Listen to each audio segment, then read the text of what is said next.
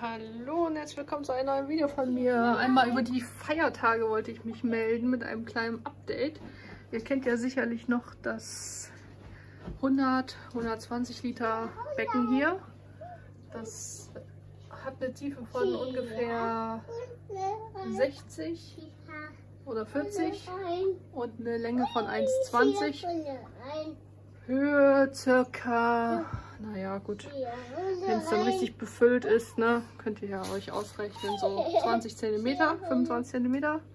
Und ich habe das vor ein paar Tagen einmal von den ganzen Pflanzen befreit, habe die anderen Pflanzen von den kaputten Blättern befreit und habe hier auch das äh, Silikon abgemacht und habe neuen Kies reingesetzt, also reingemacht. Das ist so ein Sansibar Black.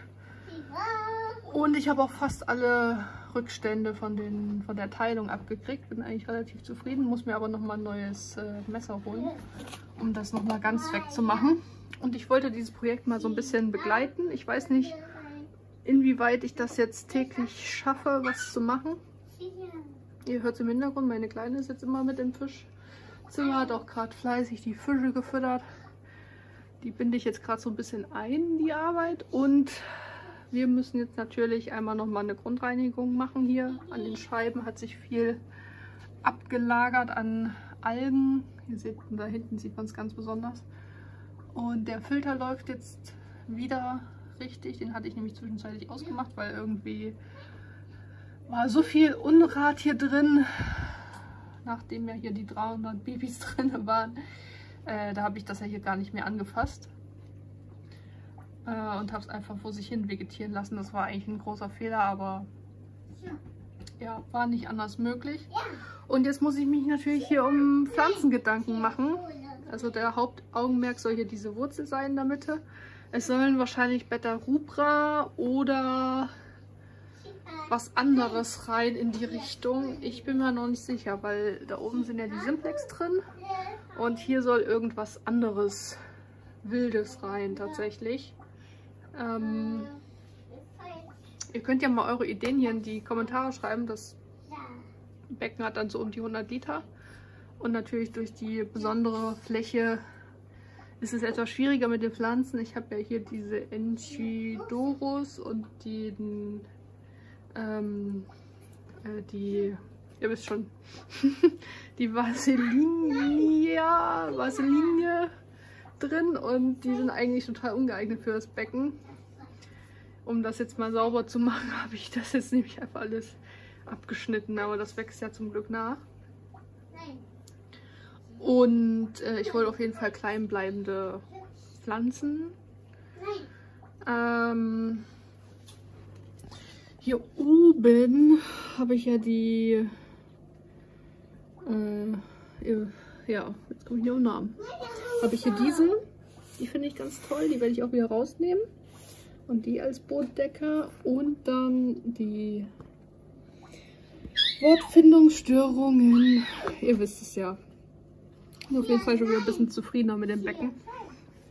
Habe jetzt auch wieder einen neuen Filter drin und habe das Ganze hier ein bisschen hintergezogen.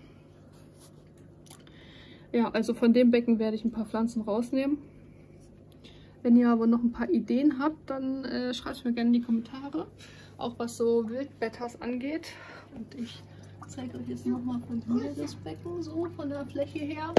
Also hier vorne sind schöne tiefe Flächen.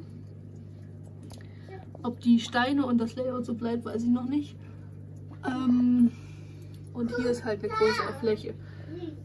Also ich weiß auch noch nicht, ob ich die Wurzel irgendwie anders drehe. Ich bin froh, dass sie jetzt nicht trocken geworden ist und auftreibt, weil es hat ewig gedauert, bis die geschwommen ist. Und ihr seht, den Wasserwechsel muss ich auch nochmal machen. Nachdem ich hier den Kies reingemacht habe vor ein paar Tagen, hat sich hier so eine Ölschicht gebildet. Die ist jetzt nicht schlimm, aber so eine Kammhaut schon fast.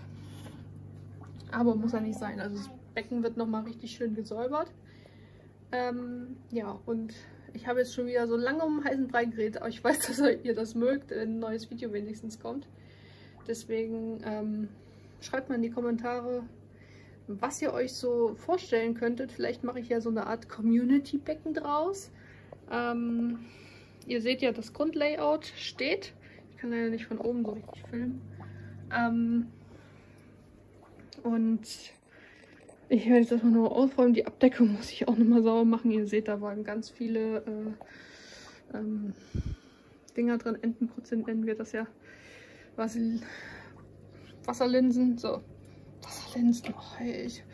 Also, ähm, alle, die auf Facebook in der Gruppe sind und so weiter, die haben es schon mitgekriegt.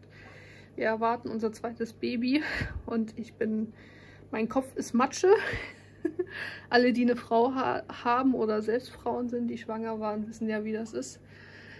Deswegen kommt auch gerade nichts an neuen Videos, weil wenn ich mich vor die Kamera setze und anfange zu sprechen, selbst mit Text, Vorlage, äh, das kann ich nicht äh, veröffentlichen. Ja, das hier geht jetzt noch, das ist ja ein kleines Video, aber ja. Auf jeden Fall habe ich hier wieder meine äh, Couch mit dem Hund, der sich ständig leckt. Und äh, hier ist auch wieder alles schick. Und ja. Genau, schreibt mal in die Kommentare. Ich wünsche euch noch ein paar schöne Restfeiertage äh, und auf jeden Fall auch einen schönen Rutsch ins Jahr 21, was wahrscheinlich genauso chaotisch wird wie das letzte. Genau, in diesem Sinne, macht's gut, ciao!